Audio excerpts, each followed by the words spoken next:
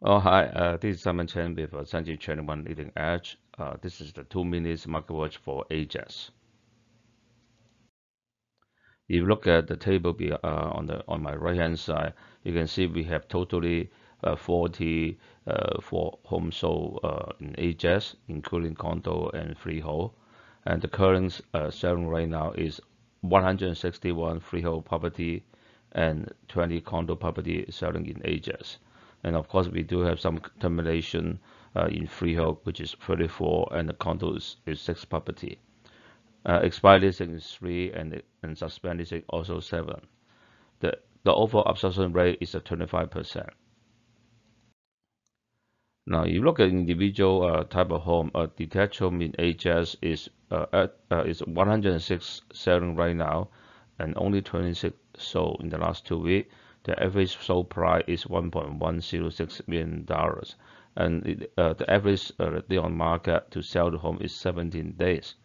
Uh, if you look at the semi, we only have 13 semi selling right now. And in the last two weeks, we already sold six.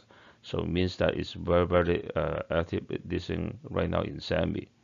And then the average sold price for semi is $844,000 and it takes 22 days to sell a home uh, uh, for Sambi. If you look at the townhome, we have 35 selling right now, and it sold in the last two weeks. Average price of townhome will be $864,000.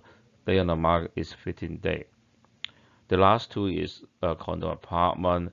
In Ajax, we don't have too many condo actually, and there's only eight uh, listing in the market right now, and one sold. Average price is $550,000, and the condo townhome is nine active listing and sold only two.